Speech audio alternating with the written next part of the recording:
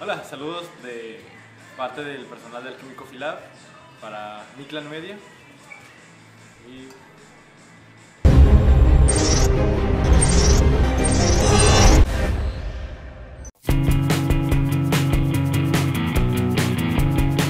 ¿Qué nos ¿Traes tiempo de echar un cotorreo?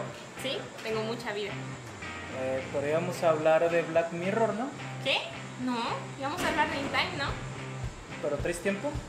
¿Tú traes tiempo? ¿Ustedes traen tiempo? ¿Y de qué trata In Time o El precio, del, mañana. pues mira, es una película de ciencia ficción un poquito distópica y trae un concepto muy padre en el que eh, el tiempo se convierte en la nueva moneda.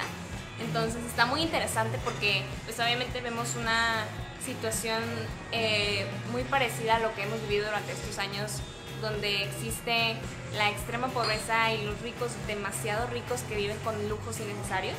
Entonces, pues eh, está muy padre porque tenemos de todo, tenemos acción, tenemos un poco de romance, este, tenemos suspenso, entonces está, está muy padre la película. Tiene eh, matices tipo steampunk, Sí, sí, sí. que sí. tiene colores muy saturados, Sí. está muy chido. Y bueno, In Time es una película dirigida por eh, Andrew Nikon, que nos trajo la joyita de Gattaca, que sale Ethan Hawke, sale Uma Thurman. Y nos trajo otra película bastante buena, que es la de Lord of War con Nicolas Cage, eh, Nicolas Cage. Eh, y bueno, es protagonizada por Amanda Seyfried, eh, papi Justin Timberlake, Olivia Wilde. Olivia Wilde, que tiene un papel ahí medio pequeño. Sí, sale poquito, la verdad. Y en un papel ahí bastante buenerillo que tiene este Clay Murphy, Sí, que es un eh, Keeper. sí. Y bueno, In, In Time está ambientado en el año 2169, eh, un futuro Un poco, pues, eh, Distópico. futurista, obviamente. Este, como ustedes saben que me gusta mucho todo lo super futurista y el steampunk y el cyberpunk y todo eso. Bueno, eh, aquí tenemos, en cuanto a la fotografía de la película, unos matices de color muy, muy vivos y muy contrastantes que hasta lo hacen ver un Muy poquito saturados. muy saturados. Lo hacen ver un poco hasta como surreal.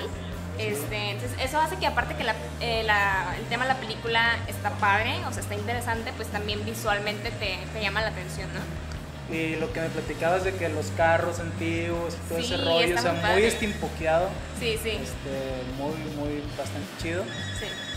Salen, o sea, salen para los que son como que fans de los carros, salen muchos carros este, antiguos, clásicos, entonces está muy padre porque pues es una película, o sea, súper al futuro y que todavía tengan esos carros así como súper bien cuidados, este, le da un pequeño toque ahí como de como de regresando tantito a la humanidad eh, antigua, ¿no? O sea, como nuestros tiempos.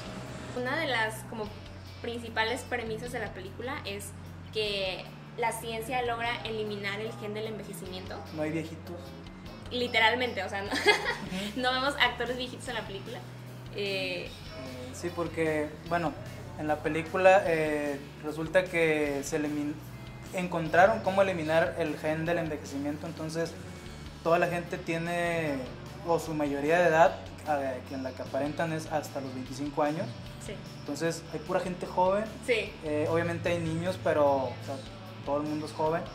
Allow me to introduce my mother-in-law, Clara, my wife, Michelle, and my daughter, Sylvia. Y otra cosa eh, bastante chida, eh, como habíamos platicado de, la fotografía, eh, colores muy contrastados y toda esa onda muy steampunkero que eh, la verdad la hacen una película un poco diferente.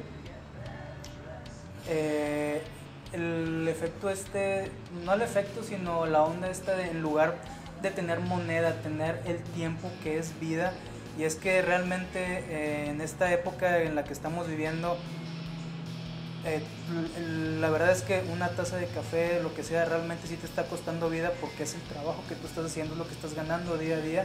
Entonces es bastante interesante el concepto eh, que manejan al estilo pues futuris- futurista, eh, pero que refleja bastante nuestra sociedad actual, ¿no? Sí, o sea, es como una, una forma de verlo más, un poquito más extrema y más como fantasiosa de que, o sea, que literalmente tuvieras que depender del tiempo que viene siendo tu dinero para, para vivir, ¿no? Sí. Este, es, es algo de lo que a mí me parece bastante chido y positivo de la película. Eh, el tema que es muy actual y saberlo manejar para que eh, gente o la raza que es más joven pueda entrarse un poco en, en este rollo de los problemas sociales actuales, económicos, todo- económicos. Todo, lo que está pasando ahorita, sí, o sea. Yo creo que a él ya se le acabó el tiempo. ¿O ¿No? Gracias. Gracias, igual.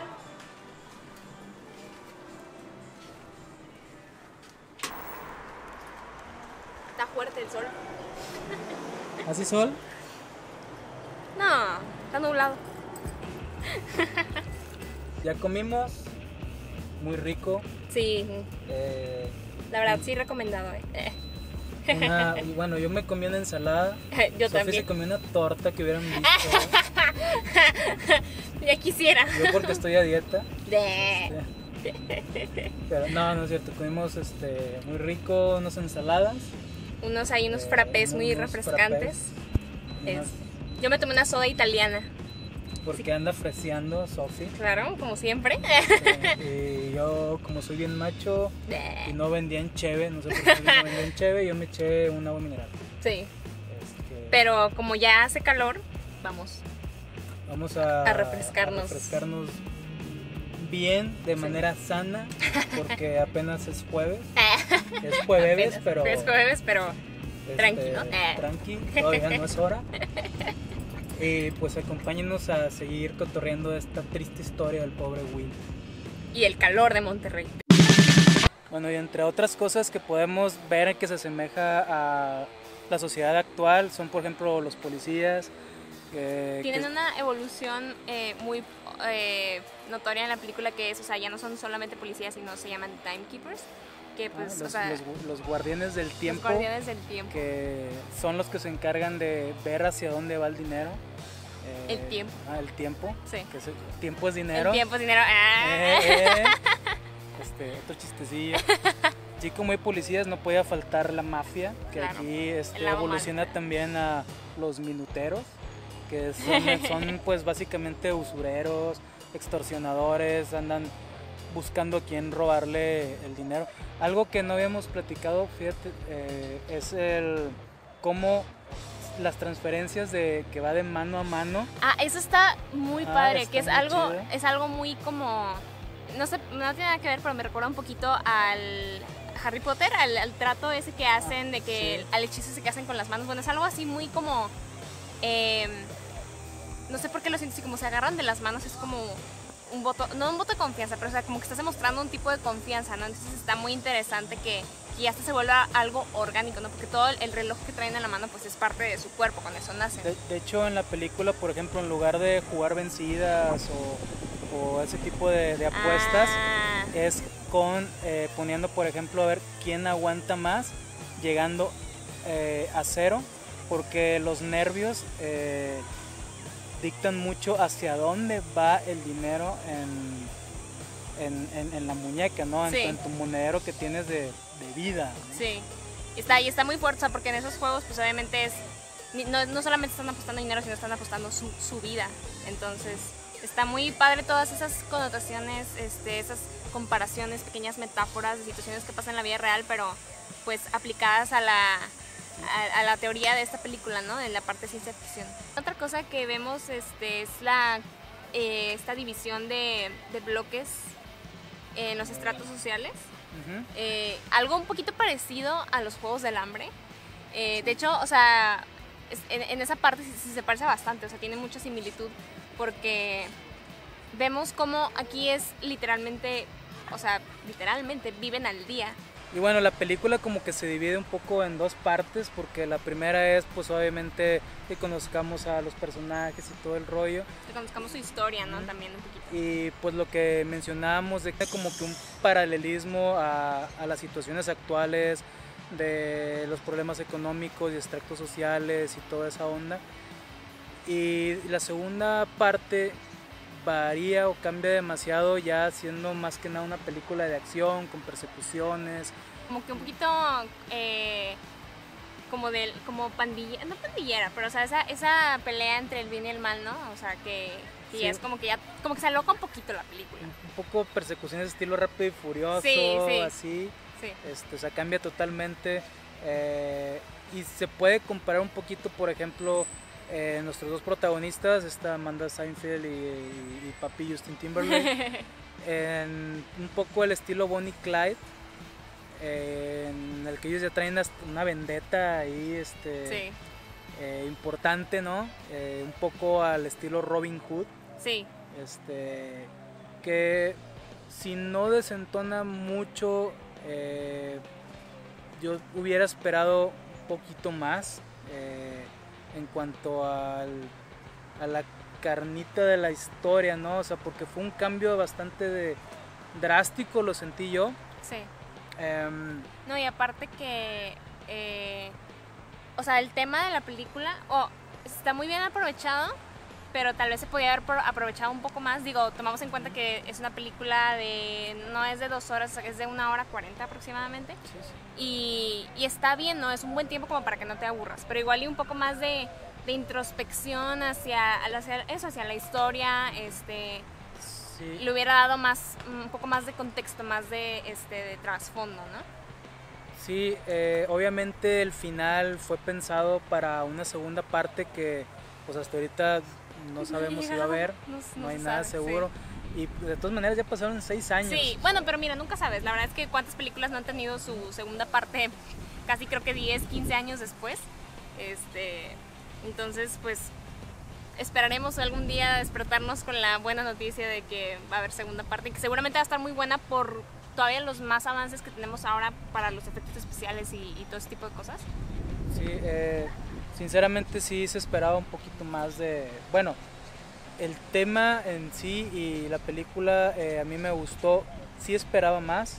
Bueno, yo la verdad soy muy fácil de complacer, entonces es, la verdad es que me gustó. O sea, yo no le... Yo creo que tal vez eso, sí me hubiera gustado ver un poco más de historia, pero pues en general es una película disfrutable, este, entretenida. Si te gusta la ciencia ficción, si te gusta todo eso de los eh, como universos distópicos, tipo Juegos del Hambre, este, ese tipo de, de historias, pues lo más seguro es que te vaya a gustar también. Sí, es un, sí, aquí sí lo es la razón a Sofi, es una película disfrutable que si son muy clavados sí se van, sí van a sentir que les queda de ver un poquito la, la película. Sí. Sin embargo, eh, como platicábamos de E-Boy, cumple muy bien con entretener. ¿Qué te recomendación? No, es cierto. Este, no, sí, sí, te entretiene. Obviamente es mucho mejor hecha que E-Boy. Ah, claro, sí, aquí tiene, no, tiene mucho presupuesto. Se ve que tiene más presupuesto, los, los efectos están muy buenos. Obviamente sí fue estrenada en cine. Sí, todo, este, y bueno, pues Justin Timberlake, pues claro, ¿verdad? Eh, Sí, digo, hasta mí, no, o sea, Amanda, eh, es que Amanda Seinfeld ah, Amanda es un poco digo- desabrida para mi gusto. a mí se me hace bonita eh, y creo que cumple, o sea, en cuanto a las actuaciones, no tenemos eh, actuaciones de Oscar, por así decirlo, pero a, a mí me parece que, que cumplen. Este, Fíjate, ah, fíjate que a mí eh, el personaje este de Clay Murphy, el, el que es el, el como el, timekeeper, sí, el timekeeper. eh, es un buen personaje, sobre todo para el estilo que él, que él es, porque él era, por ejemplo, el, el espantapájaros. sí, sí. Este, Lo- yo siento que ese personaje lo, lo realiza bastante bien. Yo creo que de todos los personajes de la película, él es el que, el que más te hace sentir algo, ¿no? Como que te da un poquito de coraje o como que lo ves y, y, y- y Te te transmite. más. Sí, sí, sí. Sí, porque eso es otra cosa ahorita que dices de, de transmitir. Realmente la película no te transporta, no te... No, eso sí lo eh, admito bastante. Eh, es una película que se siente que es para comer palomitas, Sí. echarte una pizza y unas. Sí, o Para sea, pasar el ratito ahí cotorrearlo, ¿no? O sea, sí. Eh, sí. te- tenemos, como siempre, la buena ventaja de que está en Netflix. Este, así es que si no la han visto pueden No. aprovechar. Ahora no está en Netflix. ¿No está en Netflix? No. No, sí está. ¿Está? Porque la chequé en mi lista de Netflix. Por eso fue, Sí, que, cierto. por eso fue que salimos con que, con que íbamos a, a platicar. Dato curioso, que está muy padre y se me hizo interesante. Aparentemente la mayoría de los nombres de los personajes en la película están inspirados en nombres de relojeros famosos y no tan famosos. Eh, obviamente, pues digo, apenas alguien que supiera, ¿verdad?, de relojeros, pero se me hizo muy padre porque juegan con todas esas como referencias hacia el tiempo y ese tipo de cosas, ¿no? Entonces, está chido. Y pues, ya. Bueno, raza. Se la recomendamos. Este, ya, yo, yo, yo soy mi dedito arriba y Mike con el clásico sí, dedito a la mitad. Yo soy un poco más diferente, más difícil de complacer, pero es, sí es disfrutable, se- échense una pisita, una hamburguesita, una cheve, se la van a pasar bien, Sí.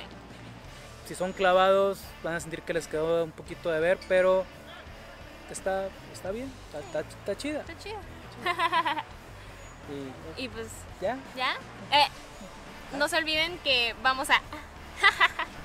a- como mencionamos en nuestra pequeña confusión del principio, eh, eh, sí vamos a hablar sobre, sobre Black Mirror. Eh, obviamente sí tomamos en cuenta sus, sus recomendaciones. solamente obviamente cuando son series, pues nos tardamos un poquito más para poder ver suficiente y poderles dar una recomendación buena, poquito, más fundamentada. disculpen los claxons por no decir pitos. Este, estamos en un parque y Pasan los carros, ¿no? pasan los Cosas de la vida. Eh, pero sí, igual, como siempre, no olviden eh, ponernos en los comentarios cualquier otra película o serie que quieran que chequemos.